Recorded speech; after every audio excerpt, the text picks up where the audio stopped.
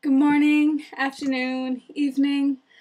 I'm here to talk to you about uh, my class's retrial of Louis Riel and Louis Riel in general. My name is Rachael Herz and I'm in the 10th grade.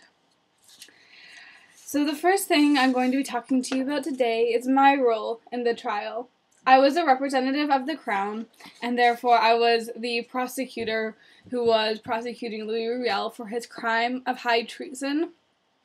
Um, for my role in the retrial, all I really had to do was go through every single witness's uh, transcript and choose the questions I was going to ask as the prosecutor. So, in first examination from most of the witnesses, and then as the prosecutor in cross examination for the witnesses which were presented by the defense.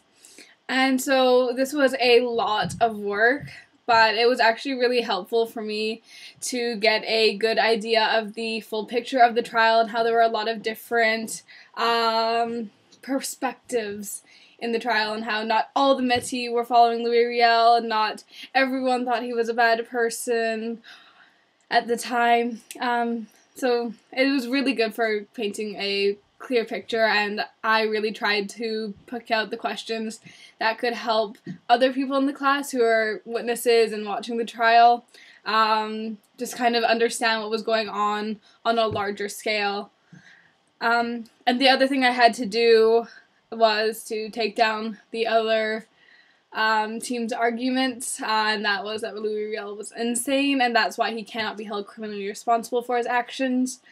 Um, but yeah, so I did that in my closing statement, and my partner did the opening statement, and she helped with some of the questioning. My partner was Taylor, by the way. And so the second thing I want to talk to you about is the verdict of our trial.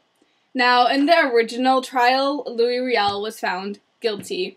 And so I think why maybe at the time he was found guilty was well, there were a mixture of reasons, of course. Um, so there was like a lack of solid evidence from the defense, and so I found this when I was cross-examining the witnesses that two of their key witnesses were claiming that because well, one of them was claiming that Louis Riel was insane because he believed in God, and then the defense actually asked in our trial a really nice question. So, do you believe religion can cause insanity? And of course, to which Father Alexis Andre, who's their witness, answered yes.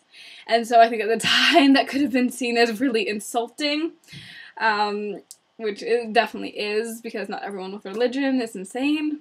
Um, and there was just a general lack of solid evidence.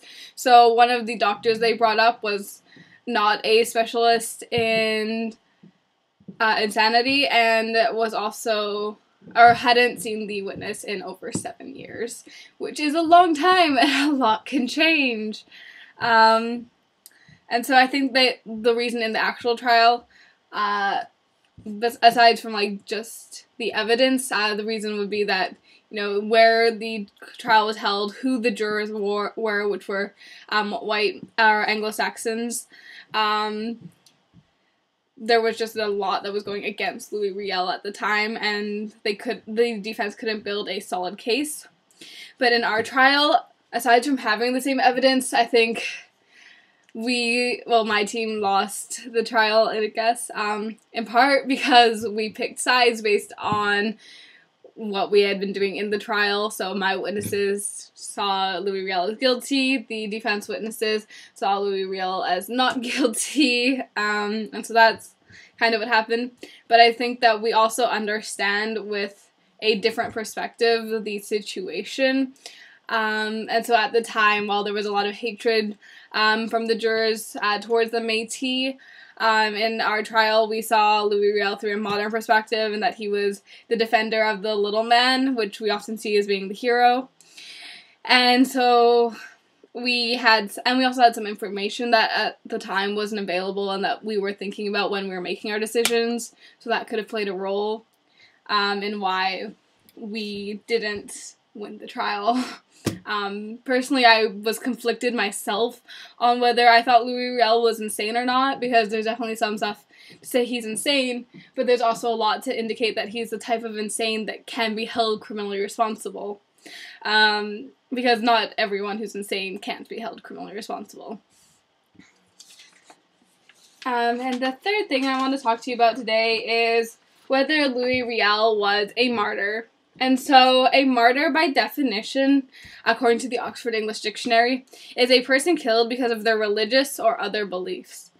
Now, based on the definition, I find it hard to call Louis Riel a martyr um, for all the Métis people. For definitely for some, he was um, the martyr for the Manitoban or Métis, Métis people.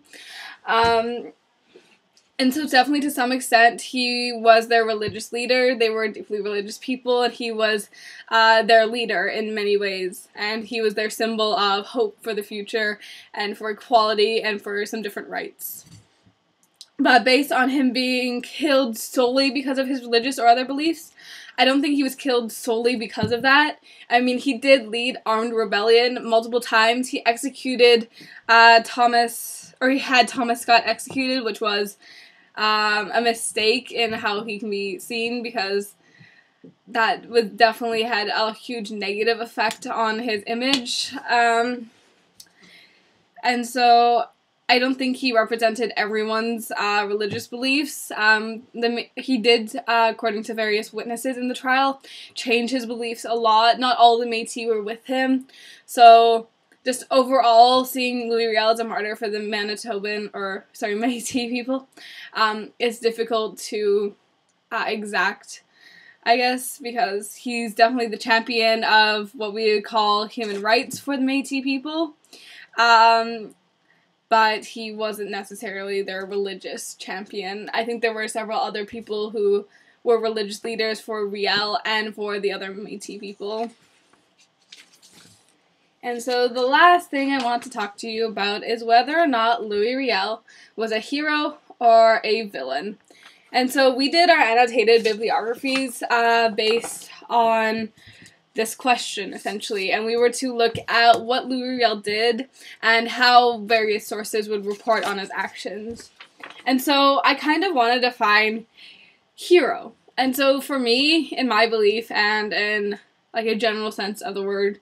A hero is the good guy, and a hero is the champion of the little guy. So he's the one who defends the little guy's rights, so the minority's rights, even if the majority can be against him. And so I think that's definitely like a really brave cause.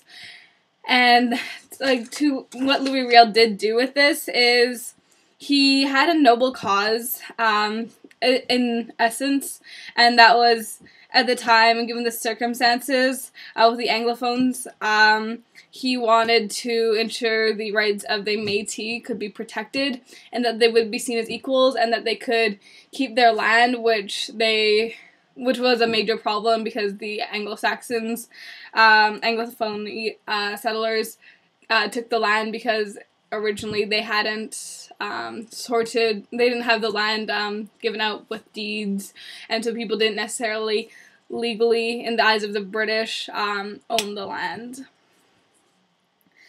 Um, and so he did try to do many things originally in a proper manner. He did engage in no- negotiations with the um, British government or Canadian government at the time.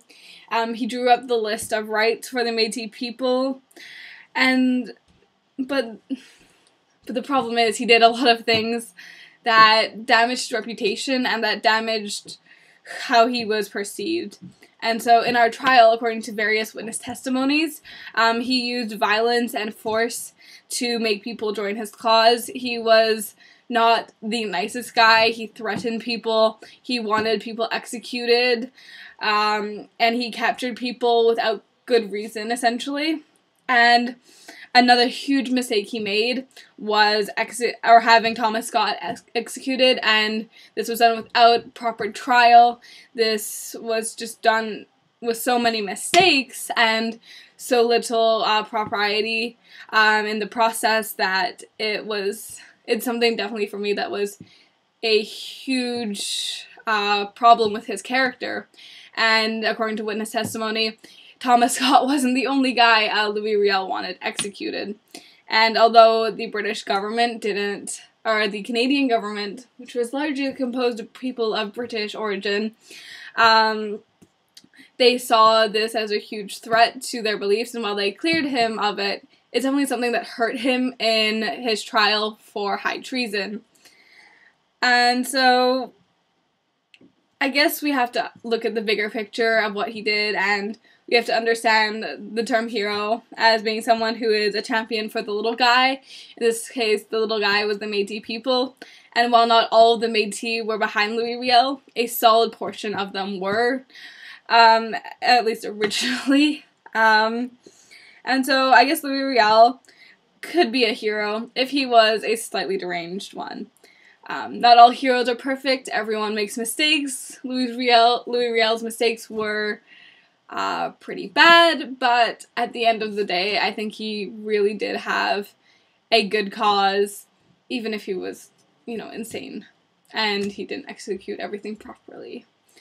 So that's basically it. To recap, I was the representative of the Crown in the retrial of Louis Riel.